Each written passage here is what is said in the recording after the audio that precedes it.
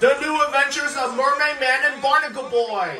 In a familiar restaurant, in a familiar part of town, a call goes out in frustration.